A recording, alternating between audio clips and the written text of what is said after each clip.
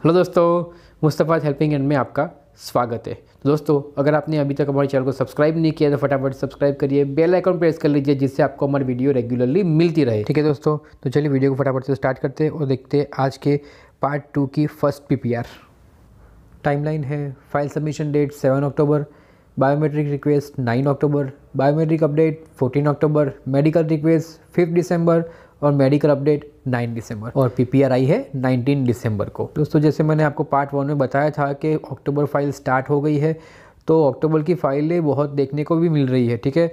इनकी फ़ाइल देखिए सेवन्थ को सबमिशन हुआ है नाइन्थ को बायोमेट्रिक हुआ और फोर्टीनथ को अपडेट हुआ। उसके बाद अक्टूबर से लेकर नवंबर तक कोई अपडेशन नहीं है दिसंबर फिफ्थ तक कोई भी अपडेशन नहीं है, ठीक है दोस्तों?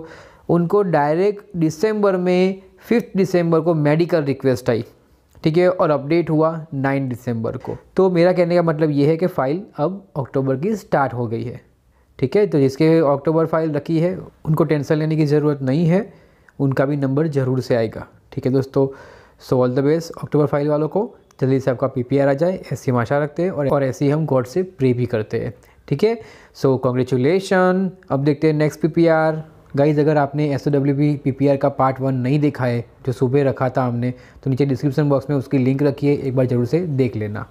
Finally with the blessing of almighty and guidance of every one अलहमदिल्ला S P means student permit plus S O W P fresh case applied from India both in India student permit bachelors with five years of job experience applied in Cape Breton University for P G diploma in health care management for January 2023 timeline देखते हैं। Applied 15 October biometric 23 October medical 14 November review and PPR 24 November यानी कि review PPR के दिन ही start हुआ है और उसी दिन उनको पीपीआर भी आ गई है।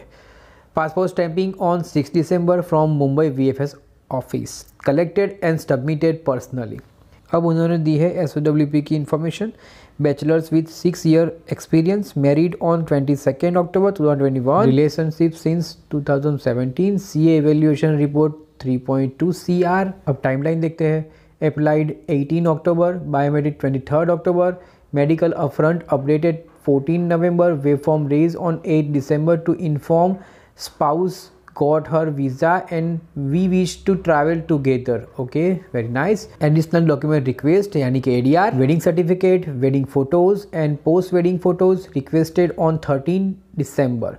Submitted on same day by evening.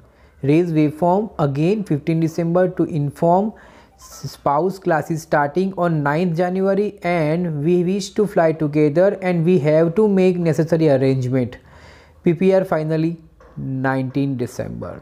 Very nice बहुत ही इंटेलिजेंट काम किया इन्होंने कि टाइम टाइम पर उन्होंने वेब फॉर्म रेज किए। दोस्तों, अगर आपके भी पी नहीं आ रहे हैं तो आप वेब फॉर्म रेज कर सकते हो, मगर बहुत वेब फॉर्म रेज मत करना, उससे नेगेटिव इम्पैक्ट भी पड़ता है। ठीक है दोस्तों?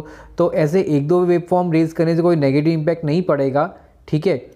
मगर ऐसा ना करना कि अभी आपने फ़ाइल रखी हुई है दस तीन पंद्रह दिन नहीं हुए, ना आप वेब फॉर्म बनना स्टार्ट कर दो, ठीक है? तो एक सर्टेन टाइम के बाद वेब फॉर्म रेज करना है, ओके दोस्तों?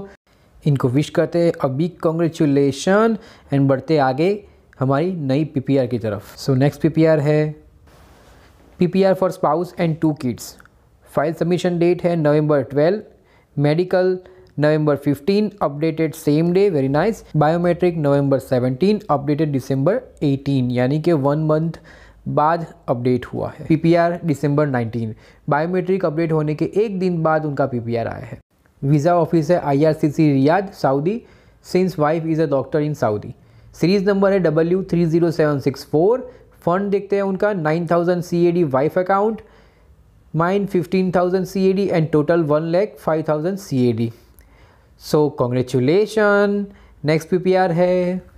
Visa got stamped. PPR in 25 days. Sorry for the late post. SOWP approved after two study permit. Application rejection in 2021. Application timeline. File submission November 12th. Biometric updated November fourteen.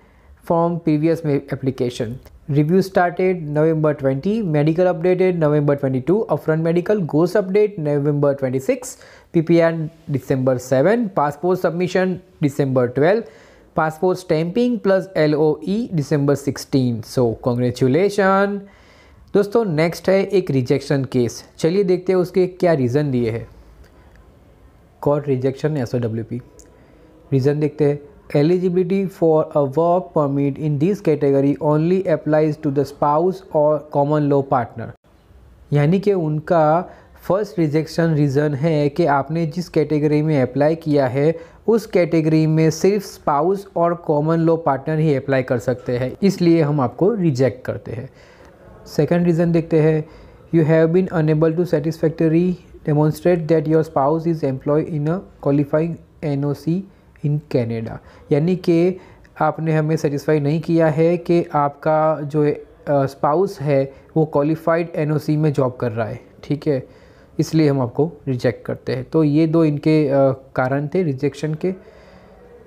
तो guys ये थी आज की कुछ PPR मिलते हैं next video में ऐसे ही नई पीपीआर के साथ। तब तक के लिए बाय बाय